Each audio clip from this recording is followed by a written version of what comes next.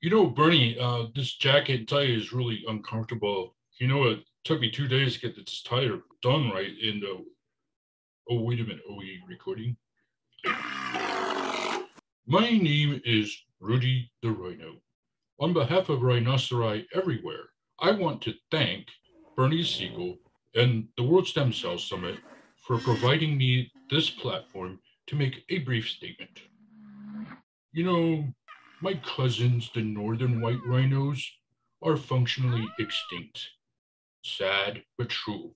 Probably they were hunted and poached for our horns. Maybe it's the whole Anthropocene extinction thing they're talking about. Anyway, what can any of us do? But now, thanks to stem cell research and the discovery of iPSCs, plus the work of brilliant scientists like Dr. Jeanne Loring, there's hope.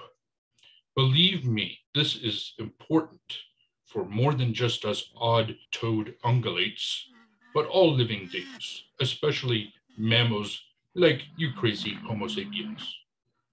Dr. Loring will tell you all about it. Please listen and think about supporting the Frozen Zoo and other meritorious nonprofit groups dedicated to saving our planet. Now, somebody please help me get out of this tie.